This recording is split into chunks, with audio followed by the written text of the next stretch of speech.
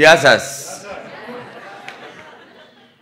In the summer of 1927, when I left from Piraeus, I took a vow that if ever the opportunity uh, presented itself in the afterlife of returning the goodness and hospitality that I'd seen in my peaceful travels in Greece and in Crete, I should try to serve your country with a love equal to that which every man owes to his own.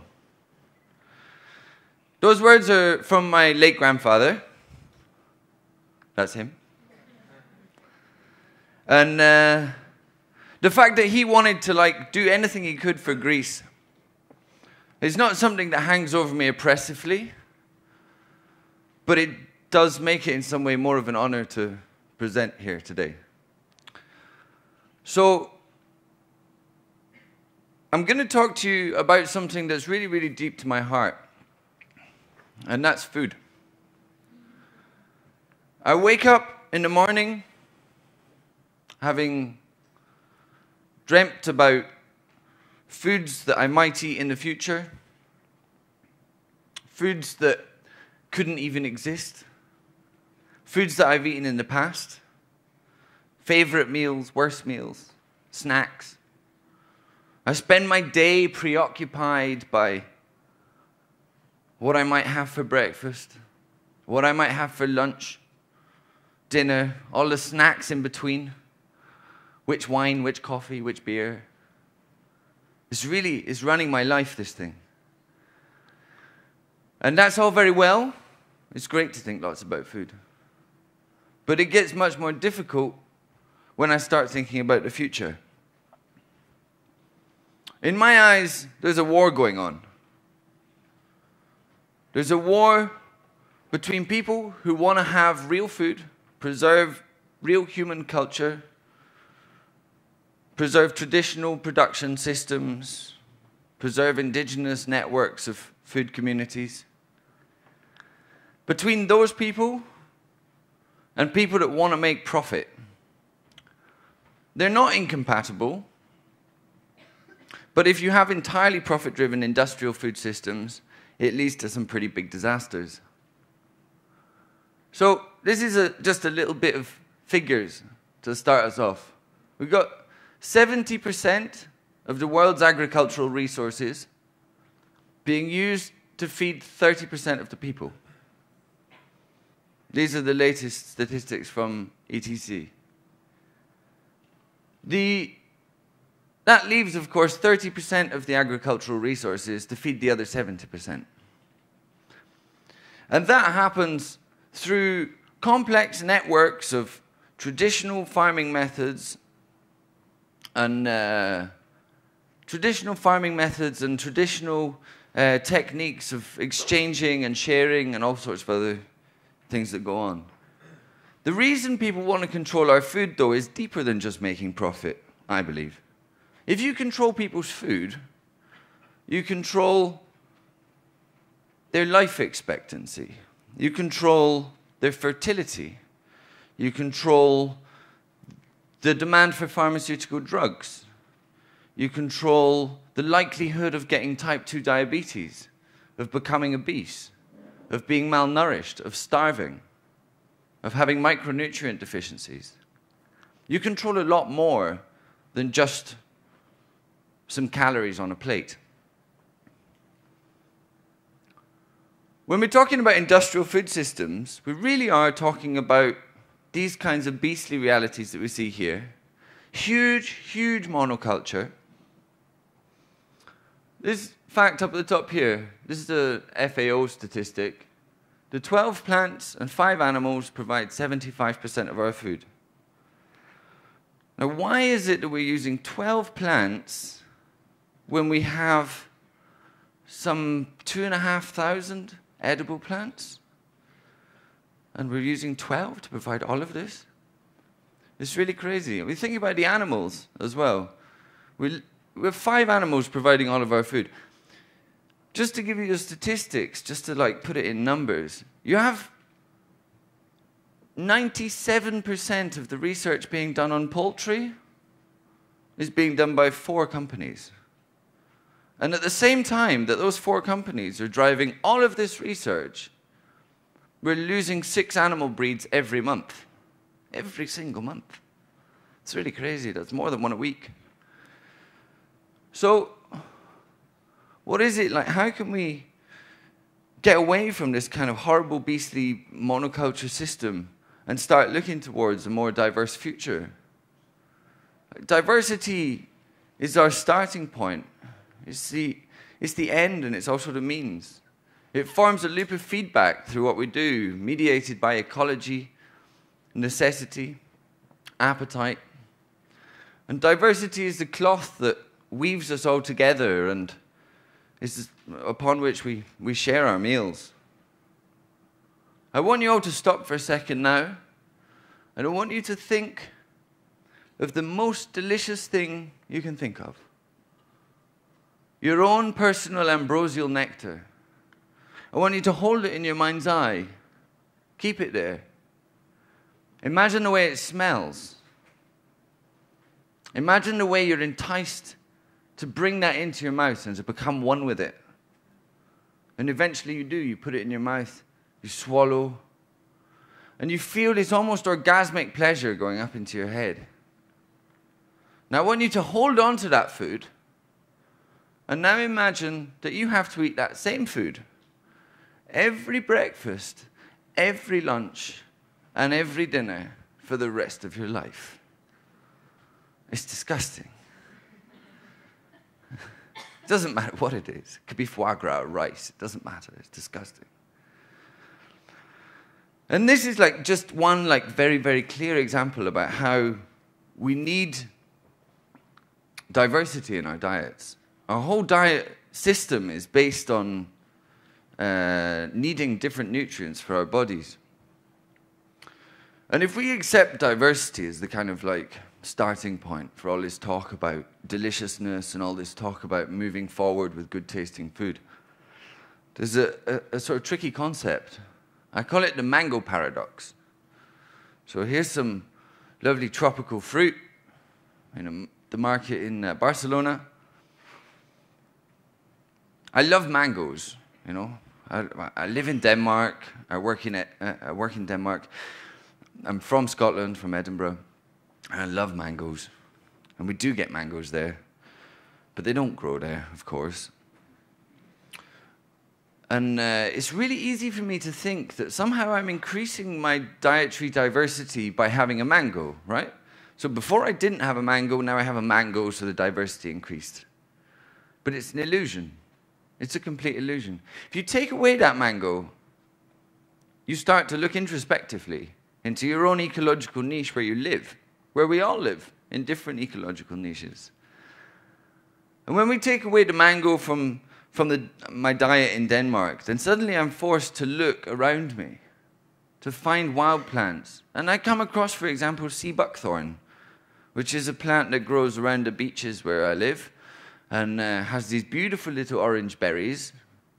And they taste like incredibly tropical. It's beautiful flavor. When I take away that mango, I start looking at all the different varieties of apples and realizing what a myriad of different flavors that they bring with them.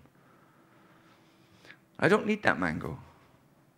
And actually, to think that it's bringing some kind of increase in diversity, when we think about the fact that almost all of those mangoes, whether I'm in Edinburgh or if I'm in Denmark, they're all coming from Pakistan. There's huge tracts of land in Pakistan full of Alphonso mangoes. They're all the same mango because it's all for a mass market.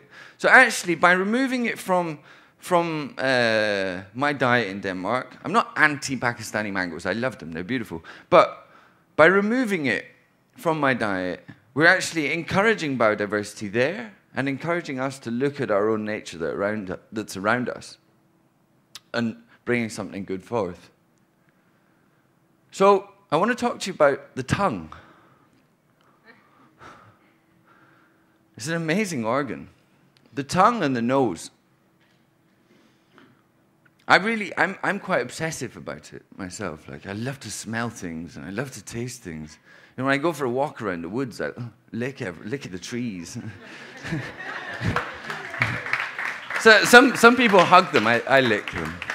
Uh, no, but seriously though, these organs, these are based on some of the, some of the most primitive sense that we have. Um, it's a chemical recognition system. It's a way of your body understanding the environment, being able to steer the body toward nutrients and steer the body away from toxins. That's what it's designed for. And it's not really, it's evolved, but the basic mechanisms are very much the same in, for example, microbes who have like, you know, detection systems for chemicals to know whether they want to swim this way or this way. So we have this amazing apparatus, which quite often is way more sensitive than any machines. And that's really, really designed for you to be able to find food which is good for you. Now, what I think we have this huge problem at the moment of all this chat about food sustainability and about making the world a green place and nah, nah, nah, it's wonderful. Right? It's great that everyone's talking about it. But actually, there's quite a lot of the world who find that discussion a little bit boring, sadly. So, how is it that you can communicate this really, really vitally important concept and to, to people who, who don't see it as very interesting?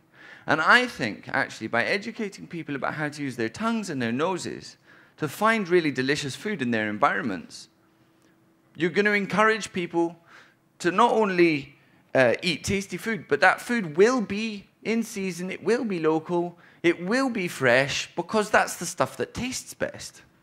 So I think this is actually a huge, huge thing in the development of like sustainable food systems is really encouraging people to, to use their tongues, to use their noses to the maximum benefit and to enjoy it. And that way you're pushing, pushing, pushing for something sustainable, some kind of decent future, stopping us all falling off this precipice, fighting this war against the industrial systems, but with hedonism, by enjoying it. I'm going to give you two brief examples now of like wild successes of, of kind of regional food systems. Two completely different examples just to show you how this kind of taste driven idea can, can uh, improve lives. So I'm working in uh, Copenhagen. It's like there. uh, and so what they did there in this restaurant that we're working like quite closely with is, uh, is stop looking at French food and start looking at all the food from the Nordic region. Start looking at all the wild plants and so forth. So this is a colleague or ex-colleague, Trevor, and he's off foraging there for all different wild herbs along the, the shoreline. But that restaurant is a place called Noma, and what they've done by sort of turning the thing around and being like, no, we don't need to cook French food, we can cook uh, food from our region, is they've explored and discovered a whole new set of ingredients, hundreds and hundreds of edible wild plants, different things from the sea, from the massive biodiverse North Sea, um, different things, different wild animals from the massive forests of Sweden, kind of non-wood forest products and all of this idea. On to my second example. This is Manipur, northeast India. Pretty unexplored area of India. It's not really on your uh, normal route. And it's a very tribal area with a lot of isolated peoples living in, in, in the hills and valleys. And these tribes, they don't always get on with each other. And one of their main ways of combating each other has traditionally been to block the roads. If you block the roads, nothing gets through. So, this happened uh, quite recently, and a roadblock was set up which lasted for almost, uh, well, over three months. As that time went on, people grew increasingly panicked. What are people eating back there? behind this block? Where's the rice? Where's the lentils? Where are the medicines? What's happening? And what was happening?